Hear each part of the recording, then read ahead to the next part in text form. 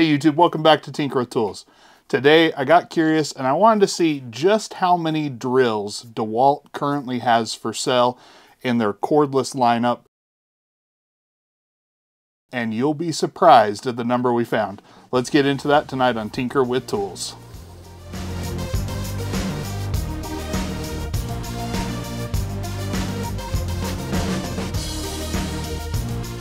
Now, what I'm about to show you is going to be the complete collection of drills I currently own from DeWalt. This is a lot of drills. It can get confusing and even intimidating if you are new to the tool lineup, so I wanted to go ahead and discuss the different categories, in my opinion, of drills that you can get from DeWalt. We'll talk about some preferred drills I'll have. I may even give you some advice on drills to stay away from. Now, keep in mind, I do not own every drill that DeWalt has out there on sale. I'll try and mention the ones that I don't and kind of where I do imagine they would sit in here. But we'll go ahead and go through each one of these groupings and we'll talk about them in detail. All right, so the first three that we are going to be talking about is the DeWalt 12 volt Xtreme lineup. Now, one of the drills that I am missing is their prior generation of DeWalt 12 volt drill which you can still in fact buy on Lowe's website, avoid that drill at all costs. It's not worth it. It's not that good of a deal.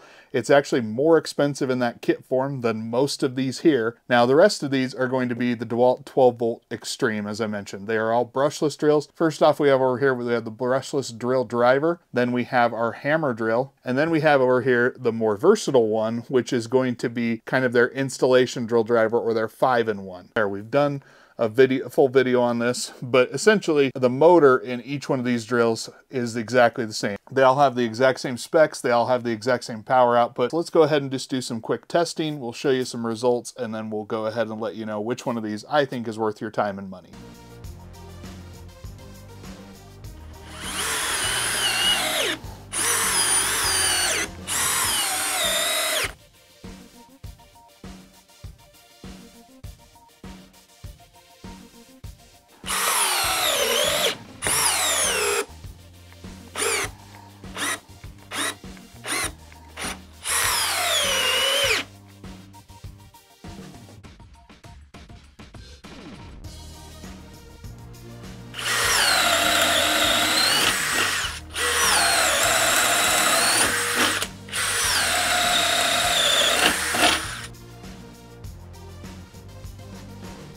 All right, so there you have it. There's the performance. These are essentially the same. Tonight, I believe these two were virtually identical. I mean, there'll be a time difference, I bet. This one felt like it was a little bit underpowered compared to the other two.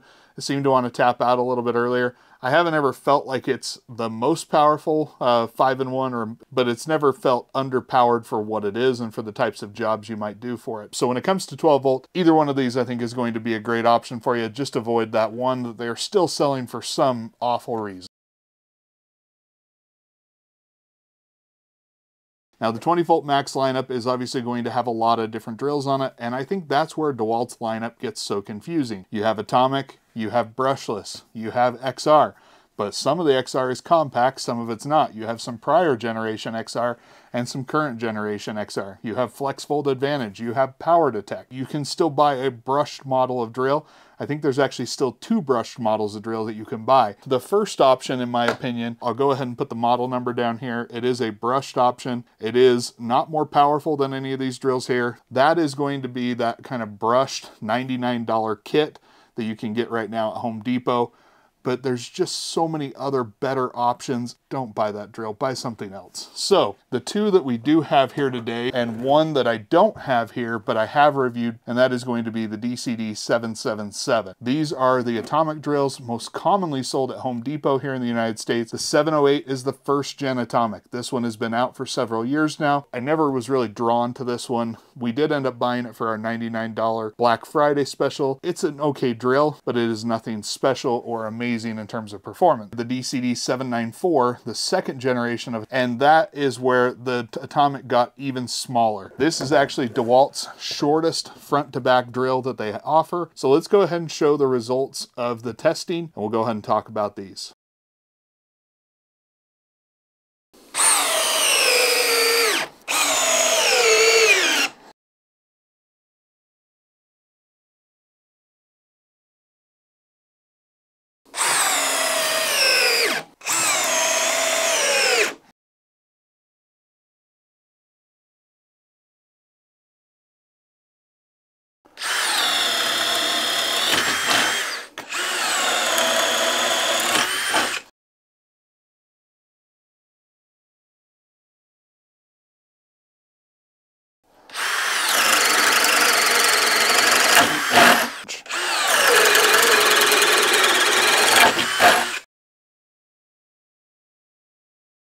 There just is not a ton that separates these two drills performance-wise.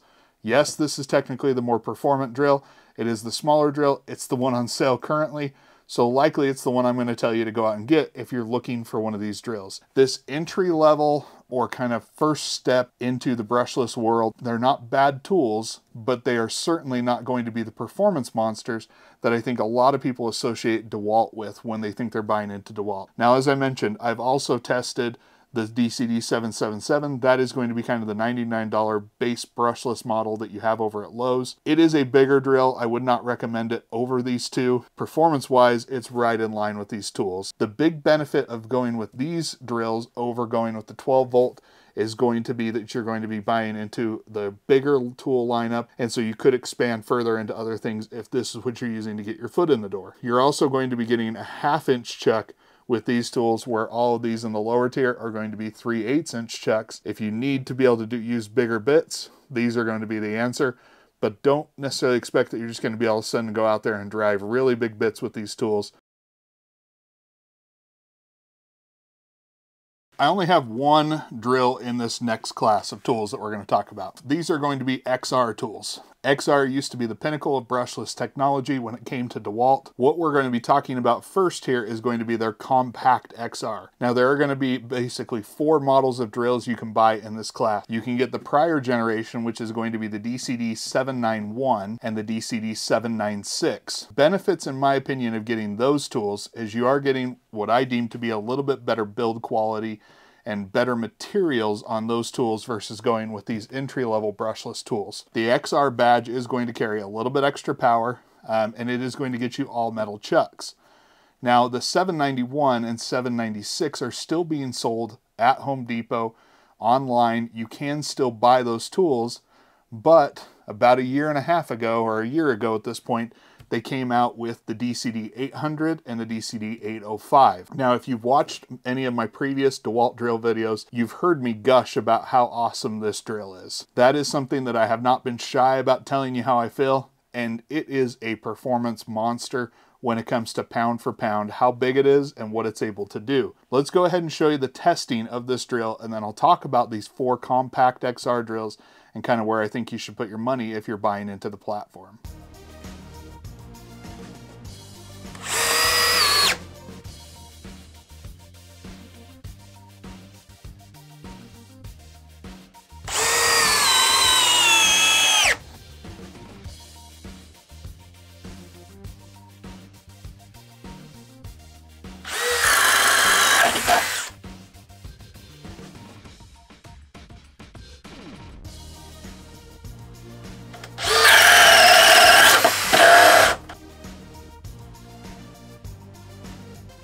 So like I mentioned, we're only really showing the one tool here. The 791 and 796, they're not bad drills. They're not as compact as the 800 and the 805. They don't have as much performance. In my opinion, that is the kind of drill that if you're getting a really good deal on that one and buying that as your DeWalt entry point, you're going to get a good quality tool. It's just not going to be a performance monster, but it will beat every single one of these drills we've already talked about today, but it's going to be a little bit more heavy duty, a little bit more well built. When you start talking about the 800 and the 805, you're starting to talk about prior generation full-size drill performance in this compact form factor. This drill is legitimately able to do some big bits, powerhouse of a tool. The Compact XR 800 and 805, in my opinion, are the best drill that DeWalt makes. This is really the drill I would tell you to get above just about any of these. All right, so now we're going to be talking about two different drills, and that's going to be the DCD 996 and the DCD 991. This is the hammer drill version that I have here, the 996. The DCD 991 is going to be your drill driver version of this drill. This drill is not a bad drill. I think the problem with this one currently being the full-size one is the performance of this one, the Compact XR, is now roughly equivalent to this drill in my opinion and most of my testing, it is going pretty much toe to toe with it, and it is able to do a lot of the things can, this one can do, but with much more compact size. I do think this drill is well built and well made, but in terms of power and performance as it compares to the 800 and the 805, I think it's just an old tool at this point. I would not recommend going out and buying this drill just because I know what else there is out there in a smaller, more compact package, or I know what there is out there in power and performance. We'll go ahead and show the performance of this one when we show our next drill, which is going to be the 999. All right, so now this is currently the top dog as far as specs and performance go in terms of what they state. It does have more unit watts out when paired with a FlexVolt battery than what they claim on the power detect with the 8 amp hour battery. As you see, we do have the 8 amp hour battery tonight. Let's go ahead and just start out right up front with doing the testing for the 996 and now the 999 with both of these batteries, and then we'll go ahead and come back and talk about that.